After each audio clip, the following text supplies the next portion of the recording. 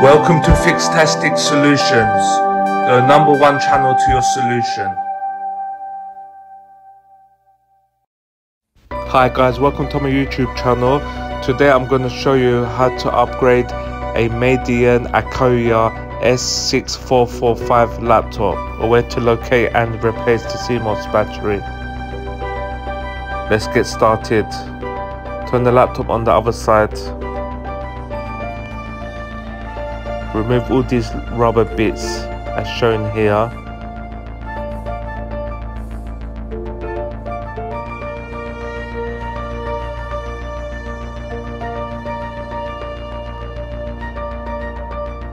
The best way to remove them is to use this needle thread. This is the most effective way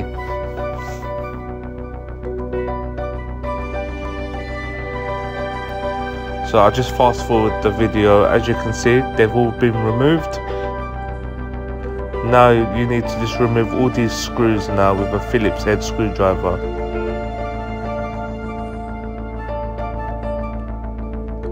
So this is what I've used.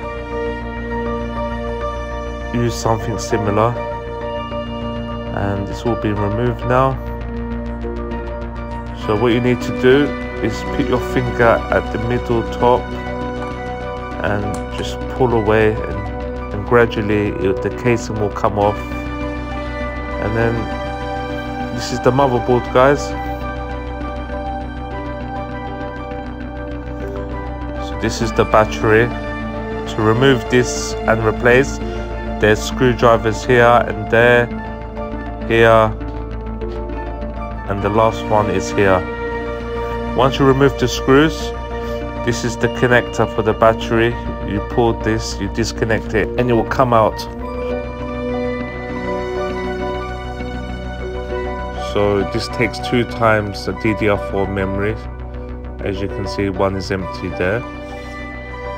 And then here you can add a second hard drive slash SSD, a 2.5 inch size. All you need is the cable connector and the caddy.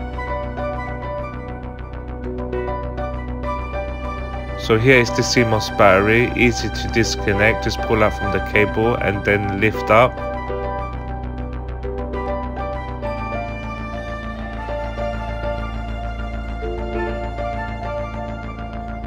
Now I will show you how to upgrade the RAM. So this is a 8 GB DDR4 memory. You turn it around this way and then you slot in and then it will clip in. Please like and subscribe and I will catch you on the next video.